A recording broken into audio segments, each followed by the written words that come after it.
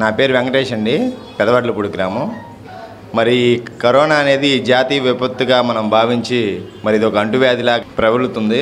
దీన్ని మనం జాగ్రత్తలు తీసుకోవాలి.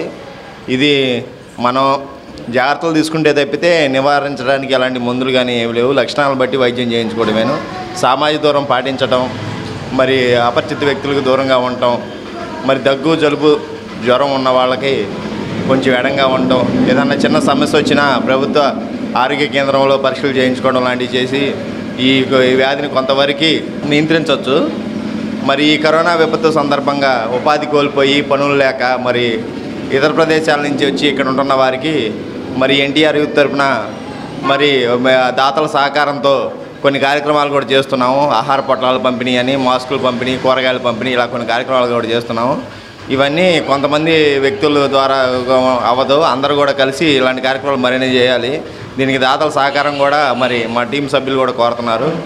ఇంకా మీ అందరూ కూడా ముందుకు వస్తే ఇలాంటి కార్యక్రమాలు కొన్ని చేసి ఈ లాక్డౌన్ ద్వారా కొంచెం ఇబ్బంది పడుతున్న పేద ప్రజలకు ఒక అండగా ఉండే ఉండొచ్చనే అభిప్రాయం. మీ అందరి సహకారం కూడా మేము అందరి తరఫున కోరుతాం.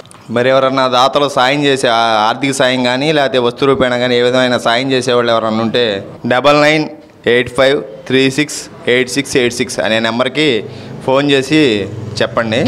Eight one two five six five eight two double five అనే నెంబర్కి కూడా ఫోన్ చేసి ఎవరన్నా సాయం చేసే దాతలు ఎవరైనా ఉంటే వివరాలు తెలపవలసిందిగా కోరుచున్నాము.